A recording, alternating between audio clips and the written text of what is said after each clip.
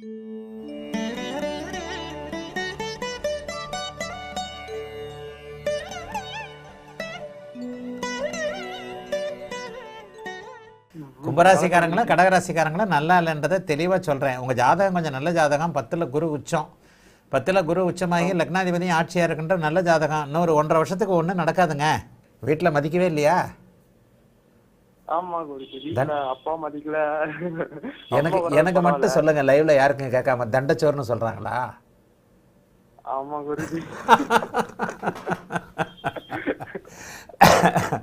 எப்போவுமே படுத்தே கிடக்காதடா எந்திரிச்சு வெளியே போடா அப்படின்னு நம்ம சொல்கிறாங்களா ஆமா குருஜி சாப்பிட்டு சாப்பிட்டு தூங்கல போலதான் இருக்கு. வீட்லயே தான் இருக்கிறேன் இதைத்தானே ஒரு பொதுவான அனுபவமாக ஜோதிடமாக சொல்கிறேன் நானும் உங்கள் வயசு கடந்து தானே வந்தேன். எங்கள் அம்மா அப்பாக்கிட்டையும் திட்டு வாங்கியிருப்பேன்ல இந்த வயசில்?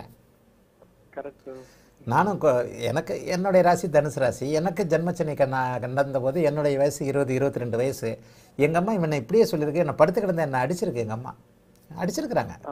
படுத்தே கிடக்காதடா வீட்டில் படுத்து என்னது விளக்க வச்சதுக்கப்புறம் தூங்கிட்டு இருந்தா தரித்திரம்டா எந்திரிச்சு வெளியே போடான்னுவாங்க அப்படிதான் குருஜி இருக்கு. தூங்கினே இருக்கணும் போல இருக்கு. ஆ. அப்படியே சோம்பேறிட்டு நம்ம சோம்பலா இருக்கு குருஜி. ஏதோ லைஃப் பொறுமையா இதை சொல்றதுக்கு ஒரு லைவ் தேவையில்லை. லைவுடைய அடுத்தவர்களுடைய வாய்ப்பை தட்டி பறிக்கிறீங்க. நீங்கள் கொஞ்ச நாளா கொஞ்சம் பிரச்சனைகளா போயிட்டு இருக்கு அதெல்லாம் எப்ப சால்வ் ஆகும்? அதெல்லாம் இப்போல்லாம் சால்வ் ஆகாது. ஒரு வருஷம் ஆகட்டும். வேற வேற அனுபவங்கள்லாம் வரும். நல்ல வேளை வந்து உங்களுக்கு லா- யோகாதிபதி சனி தசையாக நடக்குது. இப்போ சனி தசை சுக்கிரபக்தி வேற வரப்போகுது.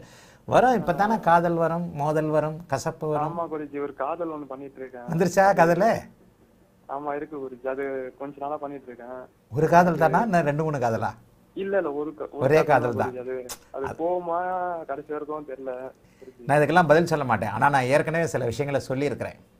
ஜென்மச்சனியில் வரக்கூடிய காதல் என்னவாகும் அப்படிங்கிறத சொல்லியிருக்கிறேன். இதுக்கெல்லாம் இங்கே நேரடியெல்லாம் பதில் சொல்ல மாட்டேன். சும்மா இதுக்கெல்லாம் வந்துட்டு டைமை வேஸ்ட் பண்ணி அடுத்தவங்க வாய்ப்பை கெடுத்துக்கிட்டு இருக்கிறீங்க. ஒரு ஜாலியாக டூ கே கிட்ஸ்ன்றதுனால என்னுடைய இளைய பருவத்து ஞாபகங்கள் எனக்கு ஏற்பட்ட காதல் அனுபவங்கள்லாம் ஞாபகத்துக்கு வந்து உங்ககிட்ட ஜாலியாக பேசிக்கிட்டு இருக்கிறேன். அதனால் காதல்லாம் பண்ணாதீங்க. ஆதலினால் காதல் செய்வீர் உலகத்தீரே அப்படின்னு சொன்னது இப்போ கும்பராசிக்காரனுக்கும் கடகராசிக்காரனுக்கும் மகாகவி பாரதியோட வார்த்தை ஒத்து போவாது.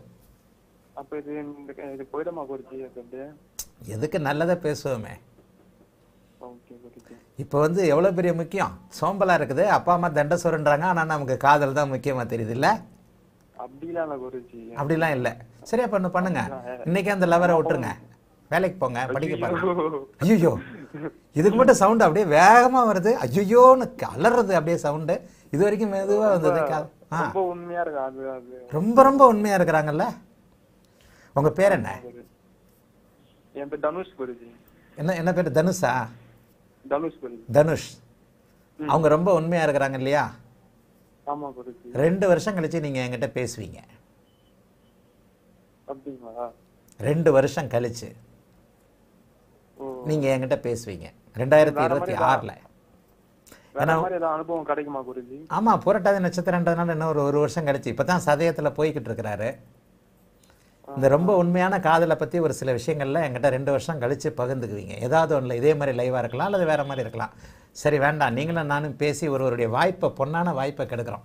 வாழ்த்துக்கள். டூ கே கிட்ஸ் சரி இதை விட்டுருங்க. உங்க ஜாதகம் நல்ல ஜாதகம். எட்டாம் இடத்துல வந்து லக்னாதிபதி ராகுவால் பங்கப்பட்டிருந்தாலும் கூட வலுவாக இருக்கின்ற யோக திசைகள் வரக்கூடிய நல்ல யோக ஜாதகம். இப்போ வந்து இப்போ நான் சொன்ன மாதிரி நான் எழுதுகிறேன். நிறைய ராசிபலனில் கூட இதை தான் எழுதுகிறேன் கும்பலக்கணத்தை சேர்ந்த இளைய பருவத்தினர் யாருக்குமே இப்போ காதல் தான் பெருசாக தெரியும். அப்பா அம்மா பெருசாக தெரியாது. தண்டச்சோராக இருக்கும். அப்படி இப்படின்ட்டு ஒரு லைவே வந்து ஏழரை அஷ்டமச்சனி என்ன செய்யும்னு தான் இதுக்கு முந்தின லைவ் போட்டோம். அதே மாதிரி தான் இன்றைக்கி ஆகிட போகுதுன்னு பயமாக இருக்குது எனக்கு.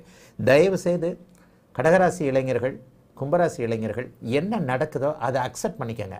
இப்போ இதை நீங்கள் கேட்டிங்கல்ல இந்த நேரத்தில் உங்களுக்கு படிப்பு ரொம்ப அவசியம் மேல் படிப்பு அவசியம் வேலை அவசியம். இருபத்தி ஒரு வயசாகுது. அந்த இருபத்தொரு வயசில் உங்களுக்கு காதல் தான் இப்போதைக்கு பெருசாக தெரியும். நாங்களும் உங்கள் வயசை தாண்டி வந்ததுனால உங்கள் அப்பா அம்மாவும் இதை இந்த இதை வந்து உங்களுக்கு தெரிஞ்சிருக்கும். ஜோதிட ரீதியான நம்பிக்கைகள் உள்ள குடும்பத்தில் அப்படி ஒன்றும் பெருசாக அதை எடுத்துக்க மாட்டாங்க. சரி பிள்ளைக்கு ஜனி சனி நடக்குது. இந்த ஏதோ ஒரு படத்தில் இந்த ச சரண்யா மேடம் சொல்லுவாங்க ஆடி போய் ஆவணி வந்தால் நல்லா வந்துருச்சுன்னு ஜோசியர் சொன்னார்ன்ற டயலாக்கு கும்பராசிக்கார கடகராசிக்கார வீடுகளில் எப்போவுமே வந்துக்கிட்டு இருக்கோம். கொஞ்சம் பொறுமையாக இருங்க. உங்கள் ஜாதகம் கொஞ்சம் யோக ஜாதகம். சனி திசை வந்து உங்களுக்கு பெரிய அளவில் நன்மைகளை மட்டுமே செய்யும். ஆயினும் அவர் சனி சூரியனோடு இருக்கக்கூடாதுன்றதை அடிக்கடி சொல்கிறேன் சில விஷயங்களில் ஒரு முப்பது வயதிற்கு பிறகு நல்லாவே இருக்கக்கூடிய ஜாதகம். கவலைப்படாதீங்க. இப்போ நடக்கிறத அக்செப்ட் பண்ணுங்கள் வேலைக்கு போங்க. படிங்க. வேலைக்கு போங்க. காதல்ன்றத ரெண்டாவதாக இருக்கட்டும். நல்ல வேலை கிடைச்சா நல்ல படிப்பாக இருந்தா ஒரு பெண்ணுக்கு வந்து மிக முக்கியமாக வந்து ஒரு நல்ல படிப்பாளி நல்ல சம்பளத்தில் இருக்கிறவன் நல்ல வேலையில் இருக்கிறவன் நல்லா சம்பாதிக்கிறவனை தான் ஒரு பொண்ணு விரும்புகிறா சும்மா டயலாக் பேசுகிறவனெல்லாம் ஒரு பொண்ணு விரும்ப மாட்டான் எங்கள் காலத்தில் இருந்த ஆயிரத்தி தொள்ளாயிரத்தி எண்பதுகளில் ஆயிரத்தி தொள்ளாயிரத்தி எழுபதுகளில் இருந்த பெண்கள்லாம் இப்போ இல்லை. ஆம்பளையோட விட பெண்கள் அதிகமாக சம்பாதிக்கிறாங்க. அதனால் உங்களுடைய பெண் உண்மையாக இருப்பதற்கு உங்களுடைய காதலி உண்மையாக இருப்பதற்கு நீங்கள் மேலானவராக இருக்கணும். உண்மையானவராக இருந்தால் பத்தாது. ஆண் வந்து உண்மையானவனாக இருக்கலாம். ஆனால் ஆண் அனைத்தையும் பெண்ணுக்கு செய்து கொடுக்கக்கூடிய தகுதி உள்ளவனாக இருக்கணும். ஒரு ஒரு லட்ச ரூபா சம்பளம் வாங்குறது ரெண்டு லட்ச ரூபா சம்பளம். அதை விட ஒரு லட்ச ரூபா சம்பளம்லாம் இப்போ சென்னை மாதிரியான இடங்களில் பத்தாது. ஆகவே உங்களுடைய தகுதி திறமை படிப்பு வேலை போன்ற அமைப்புகளை டூ கே கிட்ஸ் தனுஷ் வளர்த்துக்கங்க. அந்த பெண் உண்மையாகவே இருப்பார் கிடைப்பார். வாழ்த்துக்கள். நல்லா இருப்பீங்க. மத்தியானம் சாப்பிட்டீங்களா? ஆ சாப்பிட்டேன் சார். ஒரு டூ கே கிட்ஸ் எப்படி தெரியுமா இருக்கணும்? எட்டு இருபத்தஞ்சு. என்ன டேட்டு என்ன பிரச்சனை? நான் கேட்கறதுக்கு முன்னாடி அப்படியே அதாவது பாஞ்சு வர வேண்டாமா ஒரு டூ கே கிட்ஸு இருபத்தி ரெண்டு தான் வயசு தான் ஆகுது. என்ன பண்றதுனே அதான் குருஜி என்ன பண்றதுனே தெரியல. ஆயில்ய நட்சத்திரம் கடகராசி. ஏன் வரீங்க? கும்பராசிக்காரங்களும் கடகராசிக்காரங்களும் வராதீங்கன்னு சொல்லுவேன். அஷ்டமச்சனியில் இப்படி தான் இருக்கும்.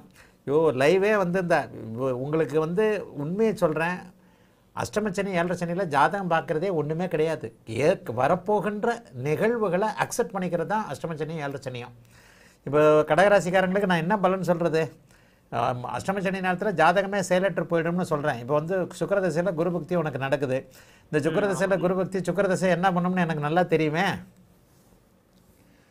சுக்கரதசை என்ன பண்ணும்னு எனக்கும் தெரியும் ஜோசியத்தில் இருக்கிறவங்க எல்லாருக்கும் தெரியும். சரி என்ன கேட்கணும் டூ கே கிட்ஸ். அதான் குருஜி நெக்ஸ்ட் என்ன பண்ணலாம்? படிக்கலாமா? இல்ல ஜாபுக்கு ட்ரை பண்ணலாமா? படிங்க.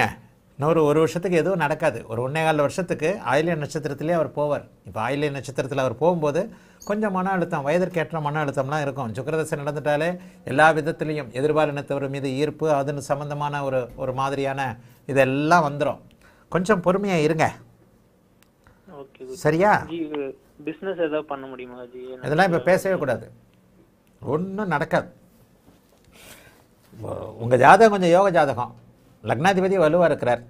என்ன இருந்தாலும் தேய்பிரை சந்திரனாக இருந்தாலும் அமாவாசைக்கு பக்கத்தில் அவர் இருந்தாலும் குருவால் அவர் சுபத்துவப்படுத்தப்படுகிறார். ஆகவே ஒரு ஒரு வருடத்திற்கு என்ன படிச்சுக்கிட்டு இருக்கிறீங்களோ அதை படிங்க. படிப்பில் அக்கறையத்தை செலுத்துங்க. எங்கேயும் எதுவும் போக முடியாது. ஒரே சோம்பலாக இருக்கும். ஒரு விட்டேத்தியாக இருக்கும். எதுலேயும் மனசு போகாது. ஆனாலும் இதை நீங்கள் இந்த அனுபவங்களை நீங்கள் எடுத்துக்கிட்டு தான் ஆகணும். ஆயில்ய நட்சத்திரம் கடகராசின்றதுனால. அட்டமத்த சனி நடக்கும் பொழுது தொழிலை பற்றி யோசிக்கவே கூடாது. நீங்கள் என்ன யோசிக்கிறீங்களோ அதுக்கு ஆப்போசிட்டாக நடக்கும். நல்ல சிந்தனைகள் வராது. சரிங்களா? கொஞ்சம் பொறுமையாக இருங்க. அயில நட்சத்திரம். தயவுசெய்து வந்து உண்மையை சொல்கிறேன் இந்த கும்பராசிக்காரர்கள் கடகராசிக்காரர்கள் குறிப்பாக சதய நட்சத்திரம் ஆயில்ய நட்சத்திரக்காரங்க இவங்க ரெண்டு பேருக்குமே இந்த ஒரு வருஷம் கொஞ்சம் அன்ஃபேவரபுளாக தான் இருக்கும். ஆனாலும் இந்த ஜாதகம் தம்பி இந்த ரெண்டாயிரத்தி two K two K kids ரெண்டாயிரத்தி ரெண்டில் பிறந்த இந்த ஜாதகர் சூரிய தசை ரெண்டாயிரத்தி முப்பத்தி ரெண்டில் வருது. சூரிய தசைக்கு அப்புறம் வரக்கூடிய அத்தனை அமைப்பு கூட நல்லாவே இருக்குது உங்களுடைய ஜாதகம் கொஞ்சம் யோக ஜாதகம் தான். ஆகவே கொஞ்சம் பொறுமையாக இருங்கள். அட்டமச்சனி முடியட்டும். ரெண்டாயிரத்தி இருபத்தஞ்சு ஏப்ரலுக்கு பிறகு நீங்கள் நினச்சது நடக்கும். வாழ்த்துக்கள்.